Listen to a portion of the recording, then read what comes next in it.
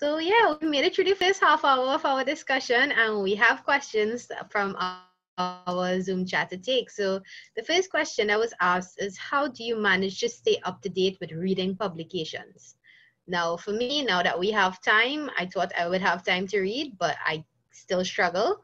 So I will ask, um, Ellen, how do you start, how do you manage to stay up to date with readings? Do you have more time now, less time? Uh, I don't think I'm up to date, but oh, I, I don't really have a systematic way, like a, a schedule for reading. So I think I, it's more like I read them when I need to write, and then when I read another paper, it makes me read another paper, or when I hear about a paper from other colleagues. But I, I don't have a systematic. Uh, yeah, it's just whatever.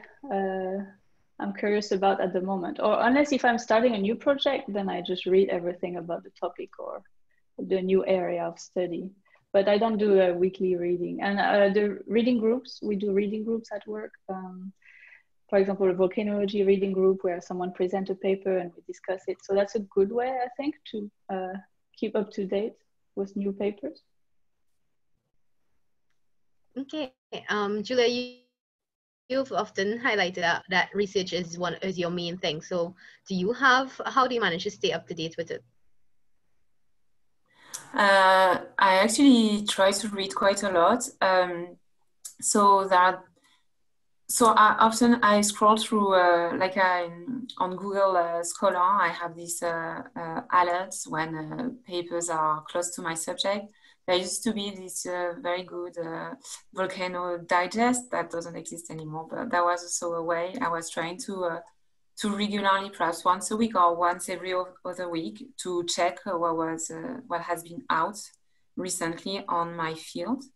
And i also read a lot um, when i write papers and when i write grant proposals and also when i use and I've, I've been doing that a lot over the past uh, four years um, uh, writing proposals for uh, positions. And in this case also I was reading a lot of paper to to keep on top of the um, what's new in the field basically. Um, so I don't I can't say that I have a very systematic way of doing it but I'm trying to yeah I'm really trying to to to scroll through the internet to make sure that I know uh, what's new in the field. And also, some of the work I've been doing is related to uh, using published data. So that means I've been also uh, extracting data from publications, and that meant that I had to go through some fairly deep uh, literature search to find some uh, new but also fairly old paper and extract uh, data I was interested in. Okay, um, Mariana? Yes, well, I think as Ellen, I am not the, the date, but um, I, I use ResearchGate and I follow a lot of people uh, with the projects of my interest. So uh, that's for me a way to be like in, in the mood. I mean, I, I am looking the new the new publication, the new papers, and if I need to, to write something or to start with a, a new paper, I go deeply in some of them, no? And depends on the area and you know, the, the main topic of, of, the, of the paper. But I think ResearchGate is a really good tool.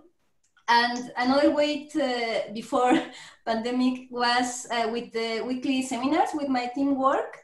Um, just to discuss some kind of topic, uh, just to, I mean, to to be involved in, in the research of every everyone. So ma many times we we start to discuss some paper and we, we read in that way.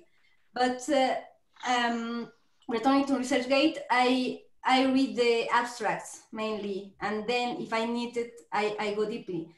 And with the students, because I, I have a student, uh, we have students um, like a kind of evaluation also, the research, the researchers here in Mexico.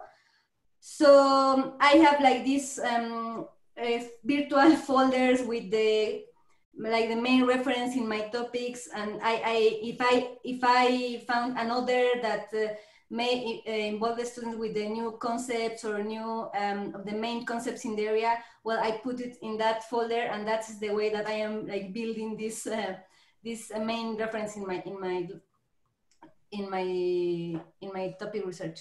That's all. Okay. James, do you have a particular format that you interact with students so much or? Um, I mean, I'm definitely not on top of my reading. I think my my folder of PDFs to read is probably pushing 100 by now. Um, so I guess apologies to Hélène because she's probably got a couple papers in that folder that I need to read of hers.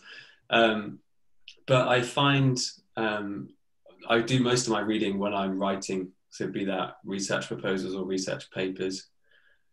But I guess I'm also lucky. I'm, I supervise, um, I guess, like 10 students or something.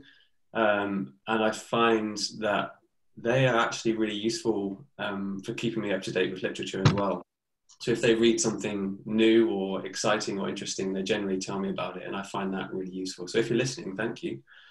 Um, and there's also, I don't know if people are aware of this, there's a tool called Connected Papers um, that is also quite useful to stay up to date with research. Um, it's, I'll, I'll chuck the link in the chat rather than explain it so people can, can explore that if they have a bit of time.